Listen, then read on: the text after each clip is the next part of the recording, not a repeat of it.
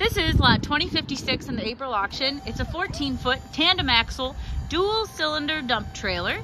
Uh, the fella said, you know, the body's a little rough on it, but it sure does work great. He just isn't using it anymore. It's a tandem axle, 14 foot, 80 inches wide. Comes with a certificate of origin. Dump runs up and down just like it should. Okay, bud, you can run it down now. Uh, this is a uh, dual gate. So this gate swings open and it also folds down. There's some extra tires and a rim there that go with it. He said they all hold air. Uh, they did add some sides on this for you here.